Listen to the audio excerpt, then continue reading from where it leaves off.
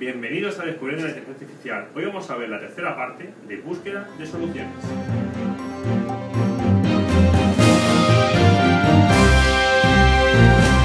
Pues bien, en este tercer vídeo llegamos ya a lo que son los algoritmos, pseudocódigo, ¿vale? De lo que sería la búsqueda como tal.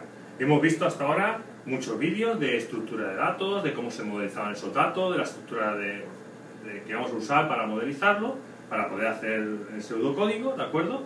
Y ya por fin llegamos a ese pseudocódigo. Hoy vamos a ver eh, dos algoritmos, eh, uno más sencillo, que es el de búsqueda en árbol, y otro un poco más complejo, ya veréis que no mucho más, que es el de búsqueda en grafos. Ahora explico por qué hay búsqueda en árbol y por qué hay búsqueda en grafos.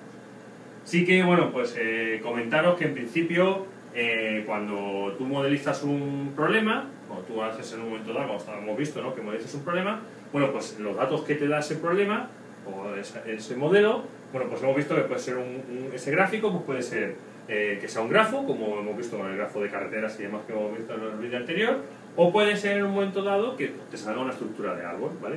Si es una estructura de árbol, y no confundirlo con el árbol de, de búsqueda como tal, ¿de acuerdo? Sino lo que estamos hablando es del, del árbol. Por eso decía, a veces se confunde tal, porque claro, lo que ocurre es que, por ejemplo, aquí cuando estamos hablando de búsqueda de árbol, parece como que este algoritmo es el árbol de búsqueda este algoritmo genera un árbol de búsqueda, pero lo que estamos hablando es de la estructura de datos que, modeliza el problema, ¿vale? Ya sea un árbol o ya sea un grafo. Si estamos hablando de un grafo, si lo que tenemos es un grafo, pues es el algoritmo que veremos a continuación, que es un poquito más complejo. Pero el grafo, hay un tipo de grafo que es más sencillo, que son los árboles, ¿de acuerdo? Porque como hemos visto, bueno, pues eh, hay entre dos nodos es un camino, etcétera. Bueno, pues utilizaríamos este algoritmo. Entonces, dependiendo si cuando nosotros definimos lo que es el, problema, vemos haciendo el análisis, por eso decía es tan importante hacer un análisis, ¿vale? Si nuestro problema lo que tiene, la estructura de datos que tiene es un árbol, bueno, pues el algoritmo es un poco más sencillo, y si es un grafo, si no, si es un grafo, ¿vale? Pues entonces eh, tenemos que utilizar el otro. Por eso tenemos que tener claro, por eso he dado eh, vídeos hablando de lo que es eh, de grafos, lo que, son, lo que son definiciones de cada cosa, hemos visto cómo hemos modelizado, estructurado la estructura de datos que vamos a usar, precisamente para que cuando lleguemos a aquel algoritmo tengamos claro todo y de esa forma sea mucho más sencillo, ¿de acuerdo? Bueno, pues empezamos por la búsqueda en grafo y como, perdón, en árbol y como decía, este algoritmo se va a usar pues cuando lo que el, problema, lo que nos dé, por la estructura de datos del problema, pues sea un árbol. De esa forma, bueno, pues esa estructura de datos se le pasa aquí a la búsqueda. Tener en cuenta que esto va a ser un pseudocódigo base, es decir, tanto este como el posterior son los pseudocódigos más genéricos que existen en búsqueda no informada, ¿vale?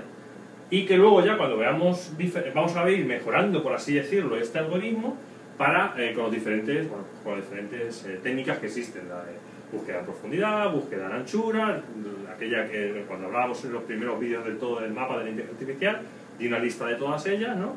Y entonces, bueno, pues vamos a ir avanzando poco a poco, búsqueda iterativa, etcétera, y lo que vamos a hacer realmente es ir modificando este, este pseudocódigo. Entonces, por eso digo que primero entender este, porque de esa forma los otros se van a entender de una manera mucho más sencilla, ¿de acuerdo? Entonces, de forma genérica, si lo que tenemos es un árbol, ¿cómo vamos a buscar en él? Bueno, pues pasamos ese árbol, ese, ese problema, lo pasamos aquí, y al final, este, este algoritmo lo que nos va a devolver pues, es una de dos cosas. O nos devuelve un nodo, que es el nodo solución, un nodo solución, eh, tener en cuenta que los problemas, como decía, pueden tener varias soluciones, una será óptima, otra no, otras no, mejor dicho.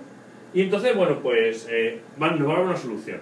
Eh, en este caso, bueno, pues no estamos teniendo en cuenta si esa solución es la óptima, no la óptima, lo que sea, ¿vale? Aquí simplemente, como digo, estamos, todavía no hemos llegado a esa parte, aquí no vamos a hacer todavía análisis de rendimiento ni nada, simplemente algunas cosas por encima. En los algoritmos que veremos luego más adelante, en los siguientes vídeos, sí que ya iremos viendo, ¿de acuerdo? Pero en definitiva, bueno, pues lo que vamos a tener es o nos devuelve un nodo, que es el nodo solución, un nodo solución, o nos devuelve fallo, ¿vale? Eso se puede modelar como queramos, puede ser un nodo vacío, puede ser una excepción, puede ser lo que queramos, ¿de acuerdo? lo que según estemos nosotros programando, según nuestro lenguaje de programación, etcétera, bueno, pues fallo, ¿de acuerdo? ¿Qué vamos a tener? Recordar que hablábamos que necesitábamos una serie de estructuras aparte para poder trabajar. Mínimo la frontera, ¿de acuerdo? Mínimo la frontera. En este caso, bueno, pues eh, como estructura de datos auxiliar, vamos a tener esa frontera que recordemos de los vídeos anteriores, que es una lista de nodos hoja, ¿vale? Lista, ¿vale? No conjunto, lista de nodos hoja, ¿vale? Nodos, no estados, recordad, ¿vale? Y entonces, bueno, en principio, inicialmente está vacía, ¿vale?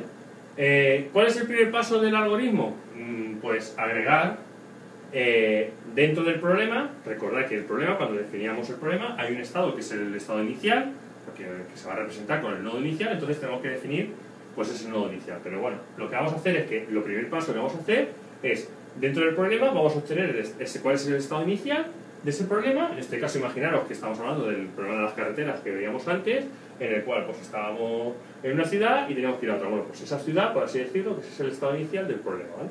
Y entonces lo agregamos a la frontera, a la frontera, ese es el primer paso.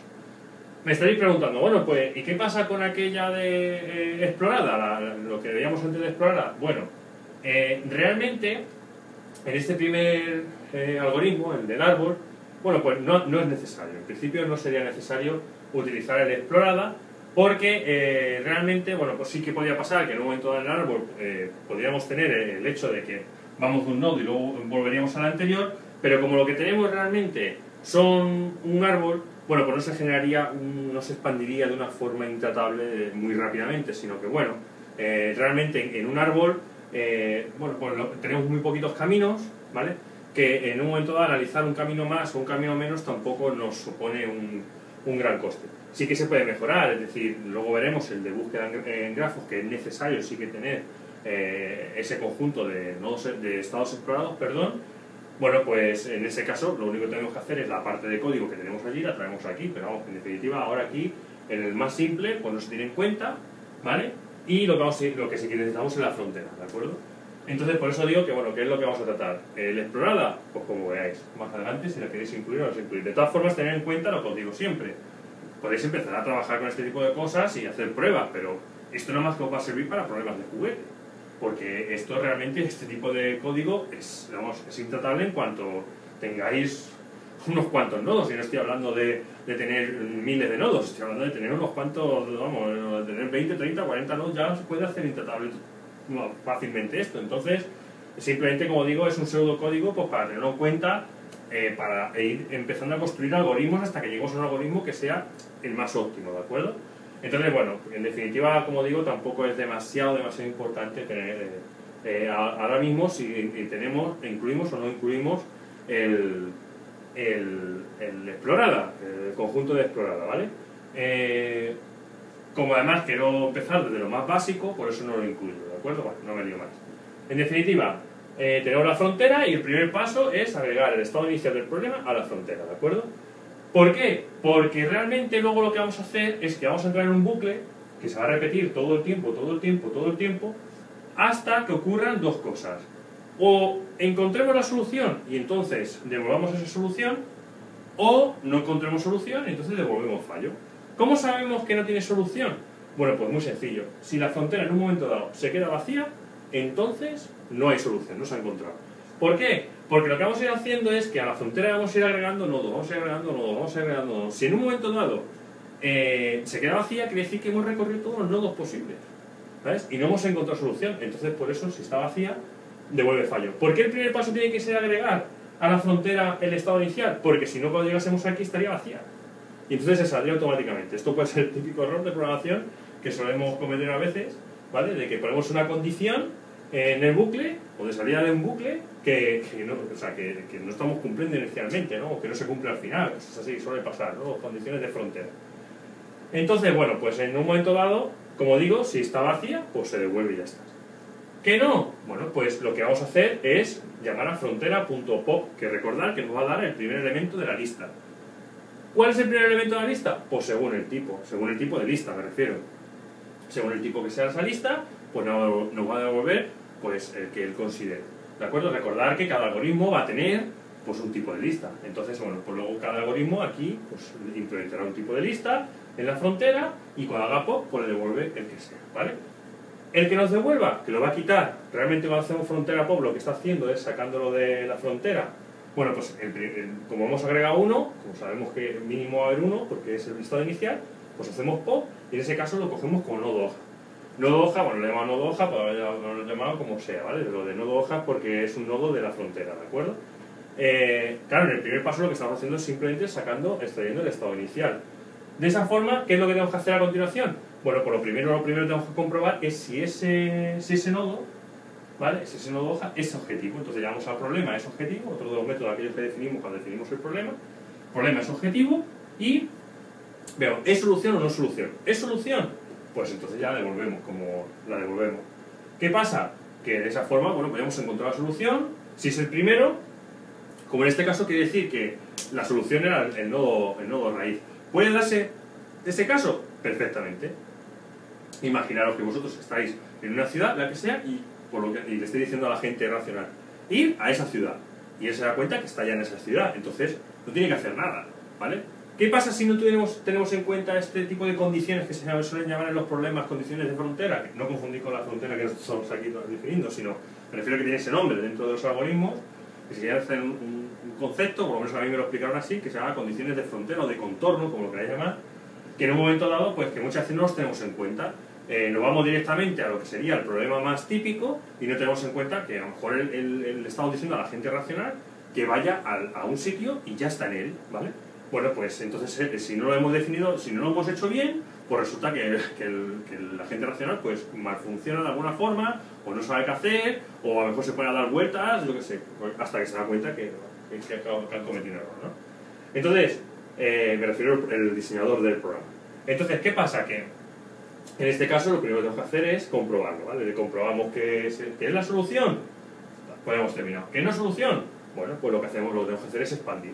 Cogemos ese nodo hoja, que, es el nodo, que en este caso sería el nodo raíz, y ya vamos a expandir. Lo que decía en el vídeo anterior, he definido un método, expandir dentro de los nodos, para que aquí dentro va a crear por cada acción, crear los hijos, etcétera, y nos devuelve, ¿vale? Nos devuelve los nodos, o la lista de nodos que acaba de generar. Y lo único que tenemos que hacer es agregar esos nodos a la frontera, ¿vale?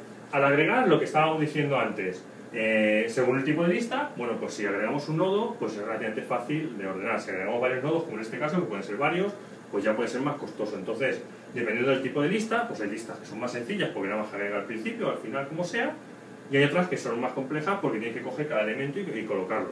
Tener en cuenta también una cosa muy importante, que si aquí al expandir nos dan cinco nodos, eh, aunque tengamos una lista LIFO o FIFO, que no, es muy sencillo, se agrega al principio, al final, lo que sea. Sí, sí, pero el orden que en un momento dado tengan estos nodos también puede influir.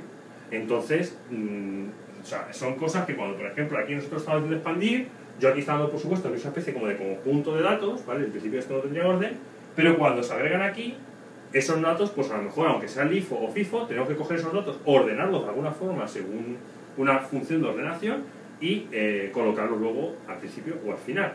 O sea, que quiere decir que incluso en las listas LIFO y FIFO puede ser que necesitemos una función de ordenación. Pero bueno, en principio son ya cosas concretas del problema, de implementación. Como ves es un pseudocódigo realmente sencillo. Si llegamos a este punto y hay nodos, se agregan los nodos, aquí ya volveremos otra vez aquí. La frontera no estaría vacía, por supuesto, entonces no devolvería fallo. Eh, aquí volveré a hacer pop, pero en este caso ya como no solamente tenemos uno, sino que tenemos varios, bueno, pues ya tendría que coger el que le toque. Si es LIFO o FIFO, pues cogería el primero, el último, lo que sea, y eh, me refiero al que haya entrado primero o el que haya entrado último, o si es una lista de prioridades, pues entonces el que tenga mayor prioridad, y entonces, bueno, pues lo, obtiene. Y de esa forma, pues. Primero a ver si es el objetivo, si no es así, pues entonces lo que va a hacer es expandir. Y daros cuenta que nosotros tenemos una frontera, una serie de nodos de aquí, y ahora expandimos, cogemos uno y expandimos ese. Y entonces, esos nodos hijos de la nueva expansión, lo que veíamos en el vídeo anterior, bueno, los vídeos anteriores, en el gráfico ese que vamos haciendo, pues esos nodos también se agregan a la frontera y se ordenan. Entonces ahora en la frontera tenemos los nodos de antes, salvo el que acabamos de sacar para expandir, más los nodos hijos del que acabamos de expandir. Se ordenan de alguna forma y ahora los tenemos otra vez, en la siguiente vez obtenemos, eh, cogemos uno de ellos. Y puede ser del nodo que acabamos de expandir o puede ser cualquiera de los nodos que expandimos antes, ¿de acuerdo? O sea, no tiene por qué ser siempre del nodo que acabamos de expandir. Y de esa forma se, va, se, repite el bucle hasta que, como digo, o entramos por aquí, es decir, se acaba ya la frontera, no hay, porque llegaremos a un momento en el que cual pues lleguemos a nodos en los que digamos expandir y nos devuelva nada, esto puede pasar, ¿de acuerdo? Es decir, nos devuelve una lista vacía, ¿por qué? Porque hemos llegado a una... Imaginaros que, que llegamos, en, eh, vamos por un con una carretera y llegamos a un pueblo y resulta que ese pueblo no tiene más salida, ya no tiene más salida. Es decir, es la única carretera que llega hasta ese pueblo. Bueno, pues entonces no hay, ya no podemos expandir más. Entonces nos devuelve una lista vacía Y entonces, como es una lista vacía, aunque le digamos agregar, pues como es una lista vacía, no agrega nada realmente. Entonces, ¿qué puede pasar? Pues que al final la frontera se quede vacía, porque claro, luego sigue sacando, sigue sacando, sigue sacando, y como no estamos agregando, pues llega un momento en el que se vacía y devolvería fallo. O encuentra una solución, puede ser la óptima, puede ser que no. Este, por supuesto, no sé si encuentra, si encuentra solución, eh, pues mm, no, o sea, no podemos asegurar que sea la óptima, y entonces, bueno, encuentra una solución y te la devuelve, ¿de acuerdo? Como digo, este es el algoritmo eh, base para empezar a trabajar. Y también, como decía antes, aunque lo he remarcado mucho, pero de verdad, que este es el algoritmo de búsqueda en árbol. ¿Por qué lo digo? Porque normalmente, lo he visto bastante, a mí me pasó en su momento y lo he visto bastante en otras personas, tanto en inteligencia artificial como en los años que llevo ya trabajando en la informática, que muchas veces eh, bueno, pues se, ponen a hacer un análisis demasiado rápido del problema y hacen este tipo de código. Bueno, pues este tipo de código no vale si, eh, por ejemplo, tenemos problemas, como decíamos antes, de nodos repetidos y cosas así. Entonces, eh, importante, de verdad, hay que hacer un buen análisis porque esto nada más que sirve, esto nada más que sirve si es una búsqueda en árbol. Si lo que tenemos son grafos, este código no nos sirve. Tiene, tenemos que ir un poquito más allá porque este código en un grafo se vuelve totalmente intratable. Es decir, eh, la mayoría de los nodos se vuelven nodos repetidos y pues enseguida consumimos los recursos que tenemos, sobre todo la memoria del ordenador, y mm, nos quedamos bloqueados, ¿de acuerdo? Así que vamos a ver el siguiente, que es el de búsqueda en grafos. Bien, pues como veis, o como podéis apreciar, es un poquito más largo. Lo que he hecho ha sido, eh, porque de verdad, o sea, no es, tan, no es tan diferente al otro, que parece más largo, pero no es tan diferente al otro, lo que he hecho ha sido remarcar las líneas con una o sea, subrayar las líneas que son diferentes, que se diferencia eh, este algoritmo del anterior. Es decir, esto es igual que antes, salvo estas líneas que he remarcado, ¿de acuerdo? Primer cambio, lo que decía antes, ya sí que metemos un conjunto explorado, ¿vale? conjunto de estados ya explorados, en principio vacío. Eh, si tenemos una búsqueda en árbol, no es tan crítico, si, tenemos ya, si queremos hacer una búsqueda que tenga en cuenta eh, pues las repeticiones, los, nodos, los estados repetidos y que tengan en cuenta que sea un grafo, que puede ser un grafo, ¿de acuerdo? Siempre estamos hablando de grafos con eso, claro, porque si no son grafos con eso, eh, tenemos estados en los que no podemos alcanzar. Hay problemas que tienen esa, como decía en su momento, hay problemas que tienen, o sea, es decir, que, que, por el problema pueden definir estados que no son alcanzables, pero no nos interesa realmente porque no, no son soluciones al problema, ¿de acuerdo? Entonces, siempre estamos hablando de grafos conexos. Lo mismo, se le pasa un problema, devuelve un nodo fallo, lo mismo, sale a la frontera, la explorada, agregamos, lo primero que hacemos es agregamos el estado inicial a la frontera y empezamos con lo mismo que antes, ¿no? Repetir, si frontera está vacía, entonces devuelve un fallo, lo mismo, hacemos un pop según el tipo de lista de la frontera, obtenemos un nodo hoja y si el problema es objetivo, es decir, si el nodo hoja es objetivo del problema, es decir, es solución del problema, entonces devolvemos el nodo hoja. ¿Qué empieza?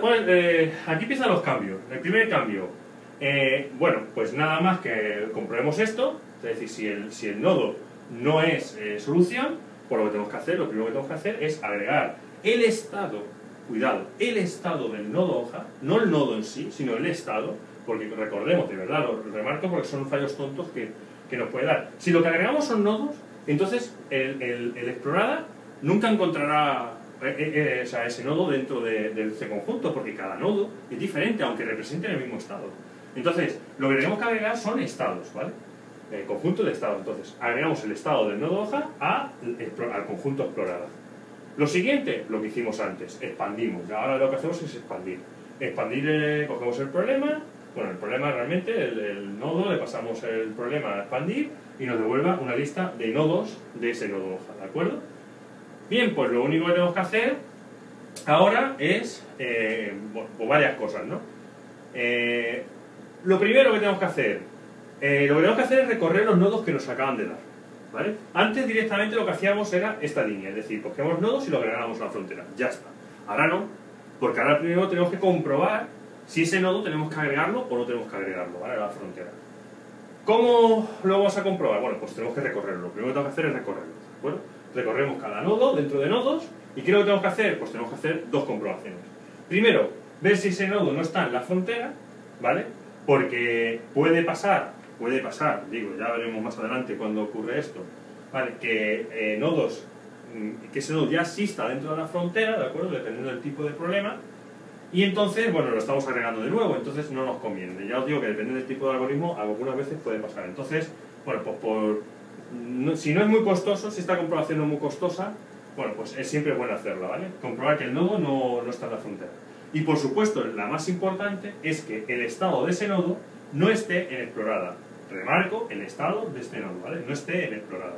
Eso es lo más importante, porque si el estado no está en explorada, quiere decir que es un estado nuevo. Si ya está, quiere decir que ya hemos comprobado. Entonces, es así, pues, bueno, pues eh, si ese nodo, aquí me he equivocado, no es, no es nodos, sino es agregar nodo, ¿de acuerdo? Agregar nodo.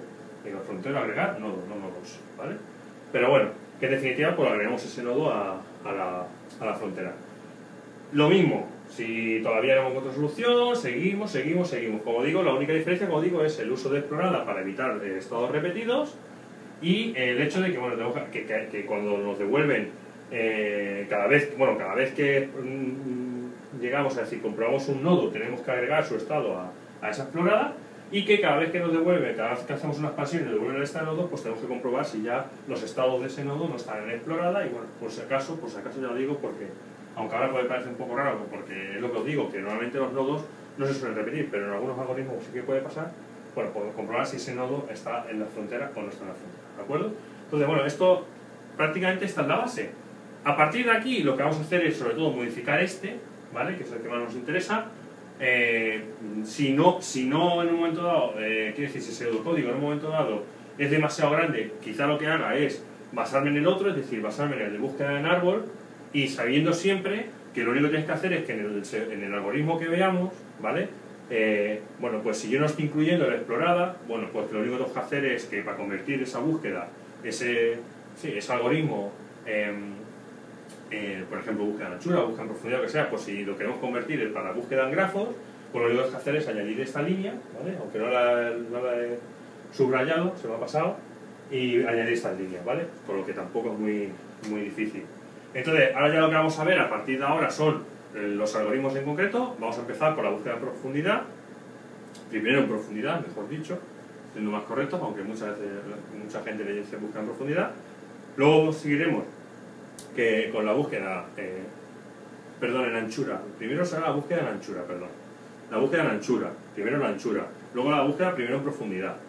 Y luego ya iremos viendo mejoras sobre estos, costo uniforme, eh, profundidad iterativa, etcétera, para obtener un, algoritmo que sea el más útil siempre y cuando, remarco, siempre y cuando sea búsqueda no informada. En cuanto podamos pasarles, en cuanto al problema, puede pasarle información adicional eh, a la gente racional para que pueda dirigir mejor la búsqueda, que ya estamos hablando de búsqueda informada, de, heurísticas, es mejor usar. O sea, siempre será mejor usar una estrella que cualquiera de estos algoritmos de búsqueda no informada. Pero hay veces que no tenemos más opción, ¿de acuerdo? Dependiendo del tipo de, de problema y de agente que tengamos. Entonces, como digo, esta es la base y a partir de aquí ya lo que vamos a hacer va a ser eh, eh, definir los nuevos algoritmos, ¿de acuerdo? Y por hoy esto es todo. Como decía, bueno, ando un poco liado últimamente, exámenes, trabajo, etcétera. Y bueno, pues me estoy basando en la búsqueda, estoy haciendo vídeos de búsqueda en grafos, que es la que tengo mejor preparada. Y bueno, pues espero que además así de esa forma vamos viendo ya pseudocódigo, vamos viendo cosas más, bueno, ejemplos más reales y vamos viendo cosas ya un poco más interesantes, por así decirlo, más reales, aunque no son, aunque como digo que estos, algoritmos todavía no se pueden usar, pero bueno, ya se puede empezar a trabajar con ellos, aunque sea con problemas de juguete. Y la verdad es que, bueno, pues ya empieza, pienso que es una parte ya un poquito más interesante que no tanta teoría, que yo comprendo, de verdad, comprendo, que, que he dado muchos vídeos de mucha teoría, pero es que era importante, de verdad, o sea, he intentado condensar muchísima información, créeme que, que era muchísima información, he intentado condensarlo también es verdad que me he detenido mucho a lo mejor en explicar ciertas cosas porque mm, creo que son importantes, por lo menos a mí me ha pasado, la experiencia que tengo otras personas y tal, les ha pasado y es que de verdad mm, eh, a lo mejor es mejor ver un vídeo de media hora, una hora y que te expliquen las cosas y de esa forma no cometer esos errores o tener que volver otra vez a leerte un libro entero porque otra gente te estás perdiendo, o sea, de verdad. Entonces, mm, sé que ha sido mucha teoría, pero bueno, a partir de ahora vamos a intentar ya empezar a hacer un poquito más de cosas más prácticas, un poquito más, más interesantes. Y por eso pienso que como ahora mismo estoy un poco liado, pues voy a, voy a utilizar la búsqueda en, el enfoque de búsqueda en grafos para avanzar un poco más y a ver si podemos ir publicando eh, al mismo ritmo que hasta ahora. Y bueno, como ya sabéis, que si tenéis cualquier duda, si me he equivocado, porque además es que de verdad que estoy estos días últimamente eh, voy muy rápido y alguna vez, como veis, me he un poquito la pata. Pero bueno, como os decía, yo no soy ningún experto, soy un estudiante, con lo que lo que intento es transmitiros mis conocimientos. Y de verdad, pues me gusta que siempre vuestros comentarios, eh, vuestros ánimos que me van llegando y de verdad que me ayudan y me, me animan a, a continuar. Eh, si os ha gustado el vídeo, siempre dadle me gusta, suscribiros al canal, difundir a todo el mundo que conozcáis, a todo lo que de verdad que es importante porque eh, siempre ayuda mucho, ayuda mucho a, seguir adelante y a pesar de que se tiene ganas, de que se tiene, pero siempre ayuda a seguir adelante. Y ya sabéis, nada, lo, vamos a ver dentro de poquito, espero que sí. Si en un momento dado veis que falte que algún día me retraso con algún vídeo que sepáis que ando un poco liado, pero bueno, yo espero que sí, que pueda seguir publicando. Así que ya sabéis, eh, nos vemos prontito, así que hasta pronto.